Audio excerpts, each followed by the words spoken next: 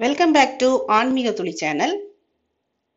உப்பு நம்ம வீட்டில் தவிர்க்க முடியாத ஒரு பொருள். உப்பில்லாத ஒரு வீடு இருக்கவே முடியாது. உப்பு ஒரு சாதாரண பொருள் கிடையாது. அதீத தெய்வ சக்திகளை உள்ளடக்கியதுதான் உப்பு. ஆன்மீகத்தில் உப்பிற்கு ஒரு தனி இடம் உண்டு. நெகட்டிவ் எனர்ஜியை துரத்தி அடிக்கும் ஒரு பெரிய திறன் இந்த உப்பிடம் உள்ளது. ஆன்மீக ரீதியா சொல்லணும்னா உப்பு சந்திர கிரகத்துடனும் சுக்கிர கிரகத்துடனும் தொடர்புடையதாக உள்ளது. உப்பினால் நம் வீட்டிற்கு ஐஸ்வர்யம் வந்து சேருவதோடு மட்டும் இல்லாமல் தோஷங்கள் வருவதற்கும் வாய்ப்பு உண்டு. உப்பை நாம் சரியாக கையாண்டால் அது நமது முன்னேற்றத்திற்கும் ஐஸ்வர்யத்திற்கும் காரணமாகிறது. இன்னைக்கு இந்த பதிவுல என்ன பார்க்க போறோம்னா உப்பை எந்த விதத்தில் நாம் உபயோகிக்க கூடாது எந்த விதத்தில் உபயோகித்தால் நமக்கு தோஷங்கள் வரும் என்பதை பற்றி தெரிந்து கொள்ளலாம். முதல்ல வீட்டில் உப்பு வைத்திருக்கும் பாத்திரங்களை பற்றி பார்ப்போம். நிறைய வீடுகளில் உப்பு பிளாஸ்டிக் டப்பாக்களிலும் ஸ்டீல் பாத்திரங்களிலும் கொட்டி வச்சிருப்பாங்க ஆனால் எந்த காரணத்தை கொண்டும் உப்பை ஸ்டீல் பாத்திரங்களில் வைக்கக்கூடாது? அப்படி வைத்திருந்தால் சனி தோஷம் வருவதோடு பலவிதமான பிரச்சனைகளும் கஷ்டங்களும் வரும். கண்டிப்பாக உப்பை ஜாடிகளில் தான் வைக்க வேண்டும். ஸ்டீல் பாத்திரம் பிளாஸ்டிக் பாத்திரத்தில் வைப்பதுதான் நாம் செய்யும் முதல் தவறு. அடுத்தது நாம் உப்பை உபயோகிக்கும் போது நிறைய நேரங்களில் கீழே தவறுதலாக கொட்டி விடுகிறோம். இது மிக பெரிய தோஷம். எப்பொழுதும் ஒரு ஸ்பூன் உபயோகித்து தான் உப்பை கையால் எடுக்க வேண்டும். உப்பு கீழே சிந்துவதும் வேறு இடத்திற்கு மாற்றும் போது கீழே கொட்டி விடுவதும் பெரிய தோஷத்தை கொண்டு வரும்.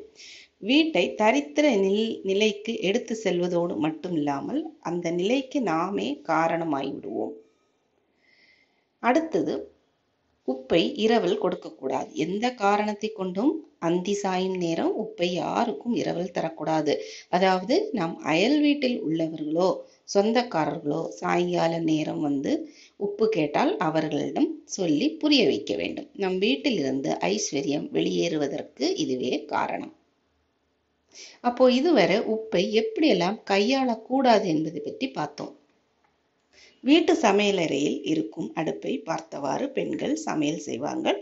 நீங்கள் அடுப்புக்கு முன்னே நின்று சமைக்கும் போது உங்களுடைய வலது கை பக்கத்தில் உப்பு ஜாடி இருக்க வேண்டும். அதுவும் எட்டி எடுக்குமாறு இருக்கக்கூடாது. உங்கள் கைகள் தொடும் தூரத்தில் தான் உப்பு ஜாடி இருக்க வேண்டும். உயரத்தில் இருக்குமாறு உப்பு ஜாடியை வைக்கக்கூடாது என்பது குறிப்பிடத்தக்கது. உப்பு ஜாடியை முடிந்தவரை மாதத்திற்கு ஒரு முறை கழுவி சுத்தம் செய்ய வேண்டும். முடியாதவர்கள் ஆறு மாதத்துக்கு ஒரு முறையாவது கழுவி சுத்தம் செய்ய வேண்டும். மாலை ஆறு மணிக்கு மேல் உப்பு ஜாடியை கழுவக்கூடாது.